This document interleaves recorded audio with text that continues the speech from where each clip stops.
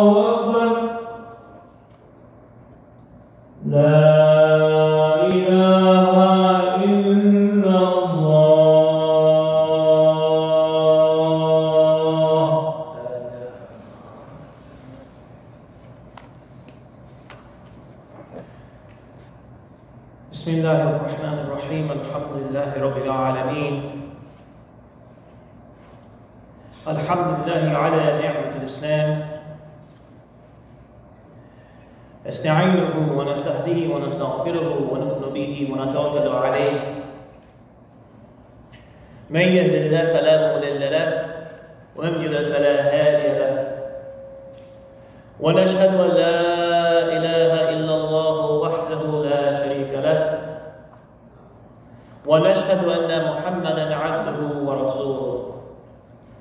صلى الله عليه وعلى آله وصحبه وسلم وبعد We begin by the blessed name of Allah subhanahu wa ta'ala whose mercy is felt in this world and whose mercy is felt by all in the life to come. We praise Him, seeking His assistance, His guidance, and forgiveness, proclaiming our belief and trust in Him. The Quran says that those whom Allah gives guidance can never be misguided by anyone. And similarly, those whom He has not provided guidance, none can give guidance to, the, to those people, to that person. And we affirm as a matter of religious truth that none deserves worship except God Almighty Allah subhanahu wa ta'ala. And that He has no partners. And that He has sent prophets and messengers throughout time. And we affirm that this process has concluded with the coming of Muhammad sallallahu alayhi wasallam. We are all here today in this masjid on Friday because we have responded to Allah, in which He subhanahu wa ta'ala says, أعوذ بعد أعوذ بالله من الشيطان الرجيم بسم الله الرحمن الرحيم He says يا أيها الذين آمنوا إذا نودي للصلاة من يوم الجمعة فاسعوا إلى ذكر الله وذروا البيع ذلكم خير لكم إن كنتم تعلمون He says to those who have faith, when the call is made for the prayer, للصلاة من يوم الجمعة when the prayer is made, uh, when, excuse me, when the call is made for that prayer, for the Friday congregational prayer, فَاسْعَوْا إِلَى ذِكْرِ اللَّهِ وَذَرُّوا بَيْعَ Then rush forth, I'm giving the translation of the verse. Rush forth towards the remembrance of Allah and give up traffic, give up trade.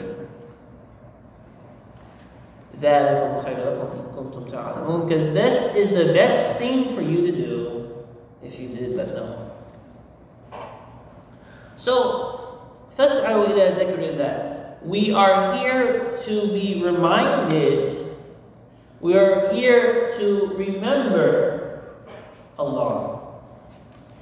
And perhaps, most importantly, we are here to benefit from remembrance of Allah subhanahu wa ta'ala. So how's the question? As far as benefit goes, what does benefit look like? Allah gives us the answer to that. He says, والله يدعو إلى دار السلام ويهدي من يشاء إلى صراط مستقيم He says, the Quran says there, that Allah summons to an abode of peace. and He guides whom He wishes. وَيَهْدِي مَن يَشَاءُ إِلَى صِرَاطٍ مُسْتَقِيمٍ He guides whom He wishes towards a straight path. وَاللَّهُ يَدْعُو إِلَى دَارِ السَّلَامِ Meaning, the benefit, this is the, this is the answer to the question, that what's the benefit? The benefit is at core a sense of peace, of serenity, of security, of happiness.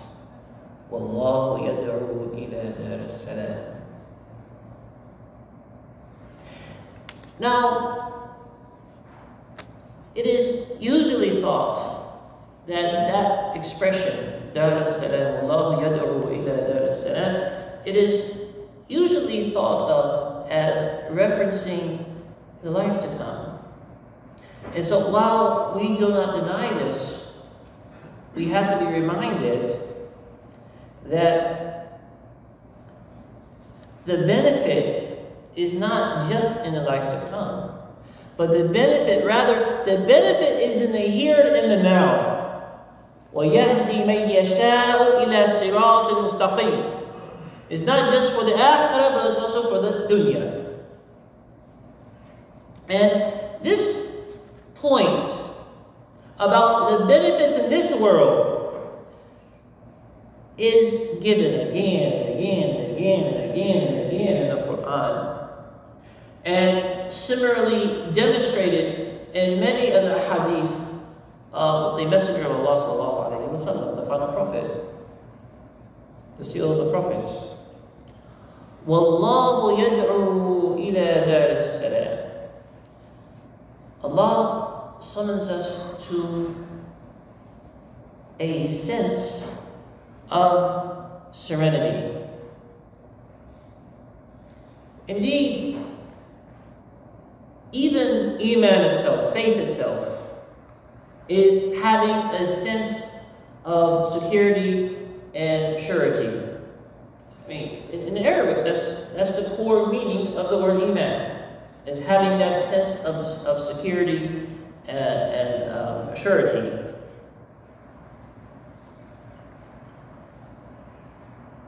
The Quran goes on to say, you may recognize that often in Salat al-Jumu'ah, I will recite this ayah in, the, in prayer, or the sentence in prayer. He says, وَلَذِكْرُ اللَّهِ أَكْبَرُ وَاللَّهُ يَعْلَمُ مَا تَصْنَعُونَ He says, and this is a very important expression by the way, he says that the remembrance of Allah is the greatest source of inspiration and power. Moreover, Allah knows what you produce. وَلَذِكْرُ اللَّهِ أَكْبَرُ وَاللَّهُ يَعْلَمُ مَا تَصْنَعُونَ So, that serenity, that sense of security, a sense of security in Allah, in His authority, in His wisdom, in His omnipotence, that sense is to produce something. It is to produce something. And it produces something great. Or to phrase it in another way, it manifests something wonderful. And the way that manifests will, of course, vary from person to person and from place to place and from time to time. But the greatness, if I can use that term, will nonetheless be manifested. So this is what we are here to be reminded of. And we obviously we are here in obedience to Allah because Allah has directly said to come to the masjid for the Friday prayer. So let me turn to the other to the ayah which is the center of this discussion. يهدي من يشاء إلى صراط مستقيم. He guides whom he wishes to a straight path. A straight path. صراط إلى صراط مستقيم. It's indefinite here. The grammar is indefinite. So what does that mean? يهدي من يشاء إلى صراط مستقيم. What does that mean? It means that once that yaqeen, that certainty is present in the heart, that certainty about Allah, that certainty about His wisdom, that Allah will guide you to a position in life that is best and most appropriate. And similarly, this happens in different parts of life. There will be a time when you have a certain job, and then you do not have that job anymore. There will be a time when you have a certain position, and then you have a different position. This is not random. This is all according to the, the Sunnah of Allah. نأتي بخير ما ننسخ من آية أو ننسها نأتي بخير منها أو مثلها ألم تعلم أن الله على كل شيء قدير ألم تعلم أن الله له ملك السماوات والأرض وما لكم من دون الله من ولي ولا نصير Very appropriate for this discussion. That Allah says, and I want to prove this point before moving forward. Allah says that whatever Allah cancels or makes forgotten of signs, that He replaces with something similar better. In the case this frightens you, Allah says, أَلَمْ تَعْلَمْ أَنَّ اللَّهَ عَلَى كُلِّ شَيْءٍ قَدِيرٌ Don't you know that Allah has power over all? Then He says, أَلَمْ تَعْلَمْ أَنَّ اللَّهَ لَهُ مُلْكُ السَّمَاوَاتِ وَالْأَرْضِ وَمَا لَكُم مِّن دُونِ اللَّهِ مِن وَلِيٍّ وَلَا نَصِيرٍ He says, don't you know that to Allah belongs the dominion of the earth, of the, of the universe? And that other than Him, وَمَا لَكُم مِّن دُونِ اللَّهِ مِن وَلِيٍّ وَلَا نَصِيرٍ That other than Him, you have none to give you protection and none to give you uh, victory. So a straight path, going back to that ayah. يَهْدِي مَن يَشَاءُ إِلَى صِرَاطٍ مُسْتَقِيمٍ So let's look at deen for a moment. The straight path it takes the it, from a dini uh, looking at it from the perspective of deen or looking at deen I should say that the straight path takes the form of Islam. Islam, as has been preached and, and um, followed by all the prophets and messengers of God, but it's found in a completed way in the coming of the Quran. And in a completed way in the person to whom the Quran was given, the seal of the prophets, Muhammad sallallahu alayhi wa sallam, the universal Rasul, peace and blessings of Allah be upon him. So, perhaps in life, in one's career, in one's personal life, perhaps we are still traveling. You know, we're trying to get there. Maybe that's happening in life, maybe it's not.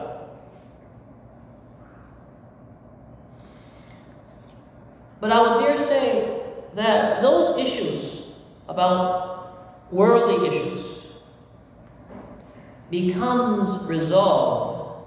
I hope this does not sound like a naive thing to say, but those worldly issues become resolved when the when we, we have managed the foundation correctly, the foundations of Iman, when the foundations of Iman are healthy and sound, then everything else will follow.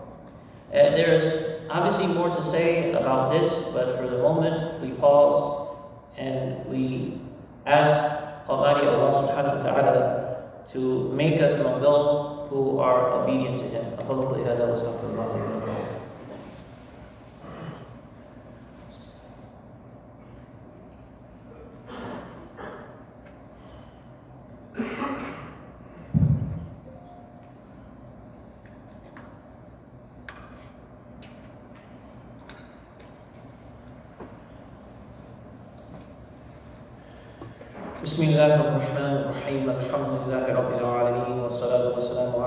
رسول الله وعلى آله وصحبه أجمعين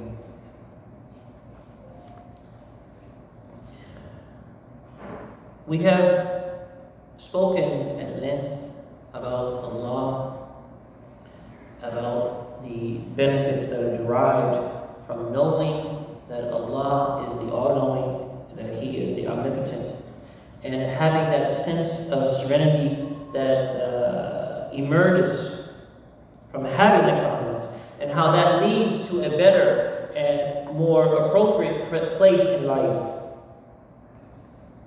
And in a way, this is what I have said is an explanation of the first part of the kalima. La ilaha illallah. In a way, all I have said has been thoughts on the expression La ilaha illallah. You can look at it like that. So, where does the Prophet come in? Alayhi salatu. La ilaha illallah Muhammadur Rasulullah. Where does the Prophet come in? What does the Prophet ﷺ have to do with any of that? Why do they say La ilaha illallah Muhammadur Rasulullah? Why is the statement Muhammad is a messenger of God connected to our declaration of faith? Well, it's actually, the answer to that is actually very simple. We do that in order to be, because it reminds us that Allah subhanahu wa ta'ala is not some abstract theory. Meaning this, that when people talk about religion and talk about God, you know, they talk about it in a, in a, in a theoretical, philosophical sense. Right? They talk about it in a theoretical, philosophical sense. And often when people talk about theology or, or philosophy, there's no worldly application at all. It's just sitting around drinking tea and, and talking about uh, talking about things. But saying Muhammad Rasulullah reminds us that Allah, the creator of the heavens and the earth, the one and only God, is involved in the world of man. And that activity, the activity of Allah, it, it manifested in many ways, of course.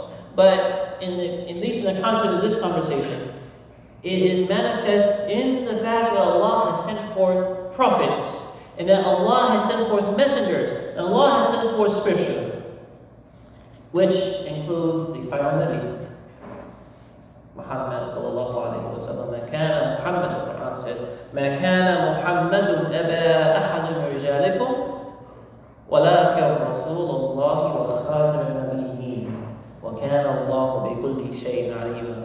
It says that Muhammad, Allah's blessings and peace be, peace be upon him, is not, was not the father of any of your males, rather he was the messenger of God and the seal of the prophets. And, uh, وكان الله بكل شيء عليما. and God has knowledge of all things.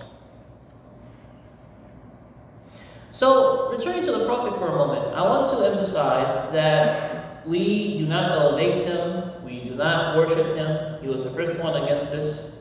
One of the famous, uh, one of the most famous uh, hadith about this point, he says, sallallahu alaihi wasallam, he says, do not do the me what was done to Jesus, son of Mary, alayhi salam. He says, when you reference me, reference me as Abdullah Rasulullah. Refer to me as the servant of Allah and His Messenger. Notice he even says, he says Abdullah wa not Rasulullah wa Abdihi.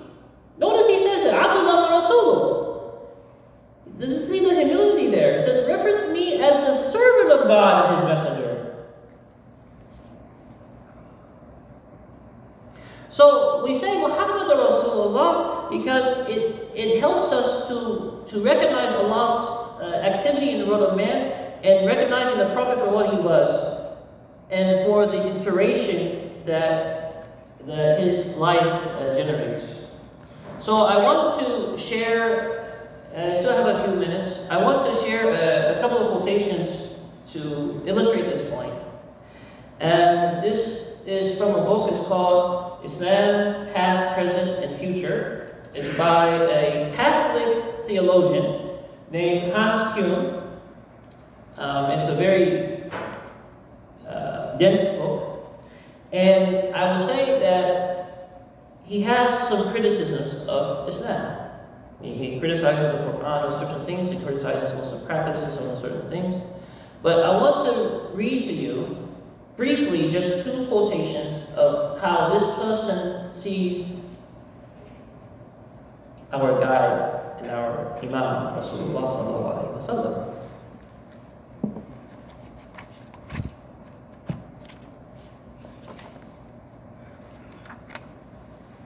Okay, so he says, this is page 116 of this book. If anyone is interested, I will at least show them. You cannot have this book, this is my book. But I will, I will, I will allow you to look at it for like maybe two seconds after the namaz is over.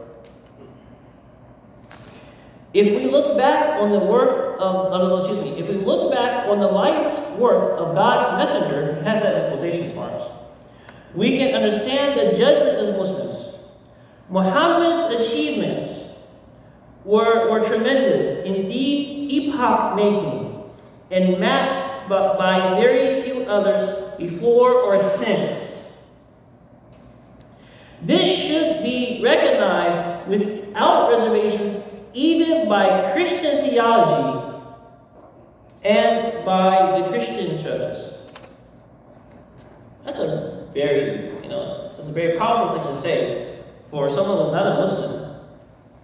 And he goes on to say in page 124 of this book, I'm telling you the book, I'm telling you the references so you can look for yourself and not try to steal the book from me. Because I don't feel like searching to get this book back again. He says, no, I'll read this part, not the other one. Any Jew who disputes that Muhammad has the qualities of a prophet should reflect that in the Hebrew Bible there are already very different prophets. And he goes on to say, any Christian who disputes that a prophet can come after Christ, meaning Jesus should reflect that according to the New Testament, there are also authentic prophets after Christ, men and women who confirmed him in his message, interpreted them, and stated them in a new time and situation. I hope that, that those two quotations were, there are other quotations about other subjects, but I hope those two quotations were clear from someone who is, at least he has some criticism of the religion. He has some criticisms of Islam.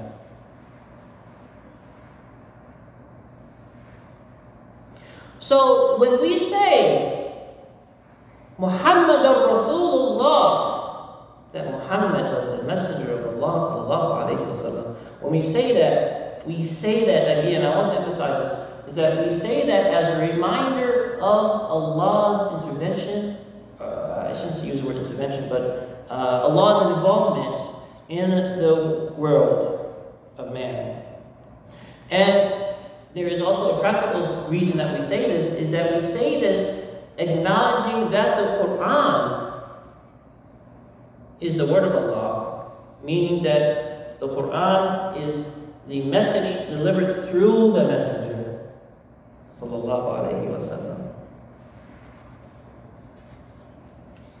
So, as we conclude,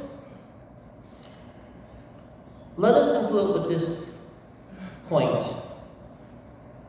Do have Iman. Be confident in Allah be confident in Allah. You know, one of the uh, my favorite verses, Allah describes the believers in Surah Al-Baqarah, uh, Al Imran. He says, um, الذين يتفكرون في خلق السماوات والأرض ربنا ما خلقت هذا باطلا سبحانك فقنا عذاب النار He says that Allah Almighty says there about those who have faith is that they are not blind. They're not, they don't follow faith blindly. Rather, they think about the universe. They're thinking about deep things and not wasting their time on PlayStation. They're thinking about creation. And they have this prayer in their mind Our Lord, you haven't created all of this without a purpose. No, ربنا ما خلقت هذا باطلا سبحانك You are glorified فقنا عذاب النار So do protect us from the, from the punishment of hell, from the fire of hell, or from the punishment of hell. It's a very powerful statement there. So be confident in Allah. Be confident in His plan. Be confident in His wisdom. And find inspiration in the human messengers, and in particular the messenger who, uh, for whom we know the best.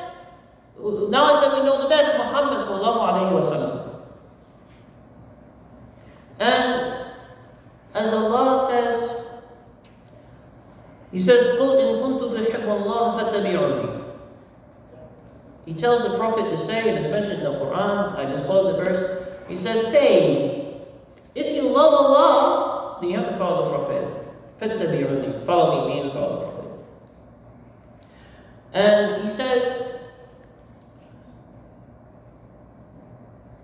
He says, May you Rasul Allah. That when you give your obedience to the Prophet, to the Messenger, you're actually giving your obedience to God. That doesn't mean the messenger is God. No, it means that he is the one conveying the divine message and that he deserves respect and to be followed. But in this case, I also want to emphasize that he is, he is the he is the um, he is the one that we should be inspired by above all other inspirations. Meaning, it's okay to read and follow particular individuals and blah blah blah. That's fine. That's fine and wonderful and good. But none can trump Please do not be mad at me for using this term. None can trump Rasulullah sallallahu alayhi wa ala alihi wa sallam. لقد كان لكم في رسول الله أسوة حسنة لمن كان يرجو الله لمن كان يرجو الله ويوم الآخر وذكر الله كثيرا. Allah says that you have in the Messenger of Allah a goodly model for any who has hope. This is the point. Who has hope in Allah and hope in the final day, and who, who contemplate upon Allah much. So we pray to Allah subhanahu wa ta'ala to be people who are ever increasing in our obedience to Him. ربنا آتنا في الدنيا حسنة وفي الآخرة حسنة وقنا عذاب النار. ربنا لا تجعلنا مع القوم الظالمين. ربنا آمنا فاكتبنا مع الشاهدين. ربنا لا تزغ قلوبنا بعد إذ هديتنا وهب لنا من لدنك رحمة إنك أنت الوهاب ربنا إنك جامع الناس ليوم لا ريب فيه إن الله لا يخلف الميعاد سبحان ربك رب العزة عما يصفون والسلام على المرسلين والحمد لله رب العالمين. آمين. رب العالمين. وأقم الصلاة. إن الصلاة كانت على المؤمنين موقوتا الله أكبر الله أكبر. أشهد